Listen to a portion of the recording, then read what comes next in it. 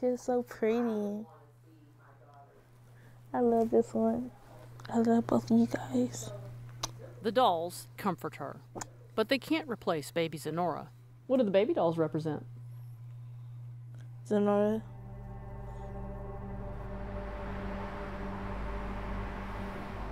Chasity Congious was six months pregnant when she was booked into the Tarrant County Jail in 2020.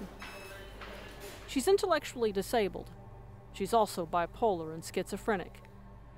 After several months in jail for a probation violation for a previous assault case, she went into labor inside this infirmary cell. She didn't know that she was in labor, but she knew her stomach was hurting pretty bad. Jailers and medical staff were sitting right in front of her cell as she gave birth, alone. So, when you were having Zenorah, were you crying out for help?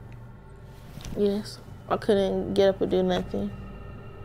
Chasity gave birth, and the baby wasn't discovered until almost 40 minutes after birth was given. No, we're not going with the baby. The baby.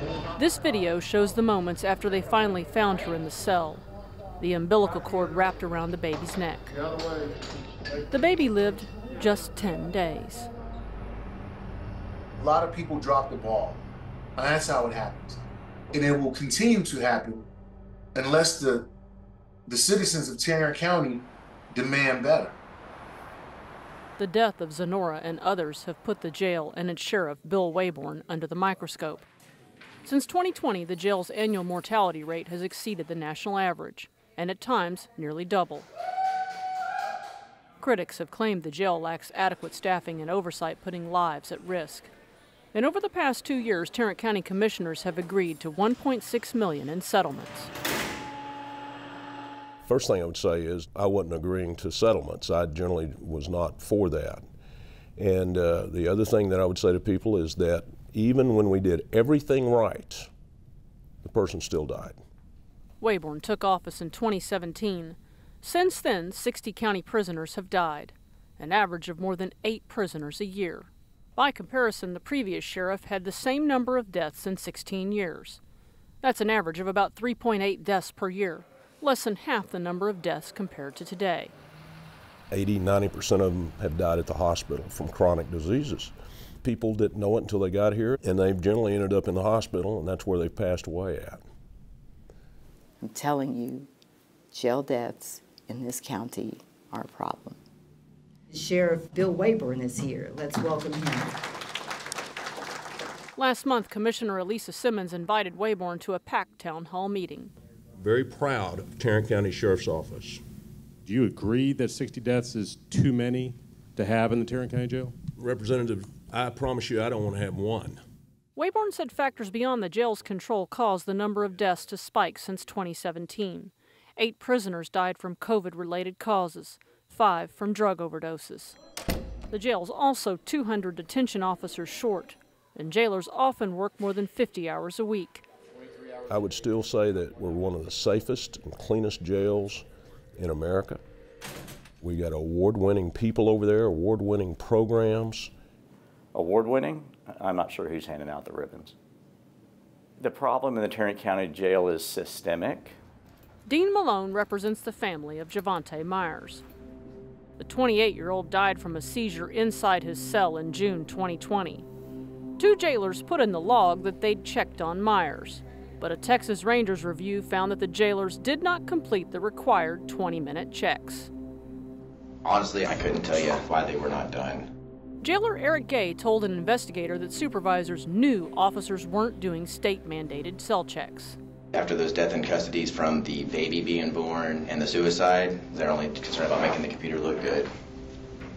It goes farther up than just officers. We asked the sheriff about Gay's comments. I think that that was somebody trying to defend themselves.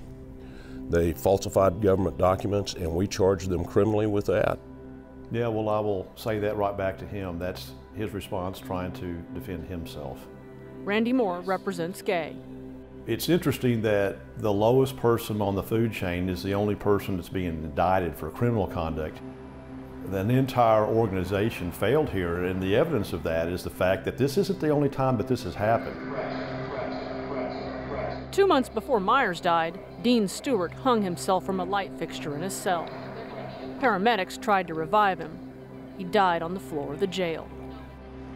State regulators found jailers failed to do a required cell check on Stewart in time. They got behind in their checks. It was nothing of, it was nothing of malice. We thought we were doing it right. Since the death of Stewart and Myers, the jail has installed a new electronic cell check system.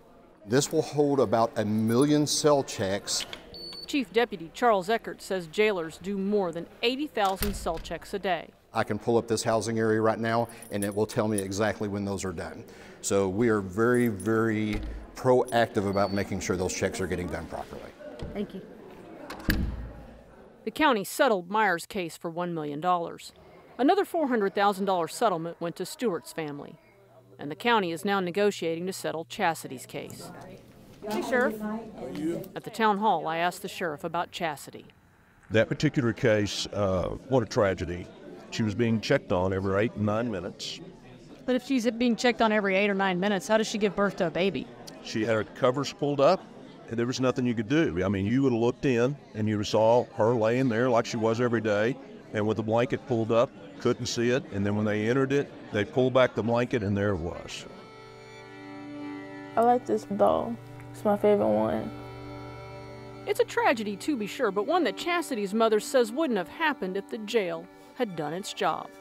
Zenorah was a healthy baby, beautiful, healthy baby girl. And there is no way that we would have been sitting here if they would have helped us by helping Chastity to deliver the baby well.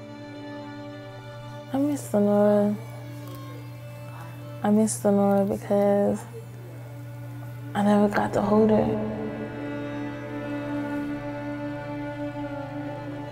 Drink your milk, Daddy. She would have been an amazing baby. In Fort Worth, I'm Tanya Eiserer.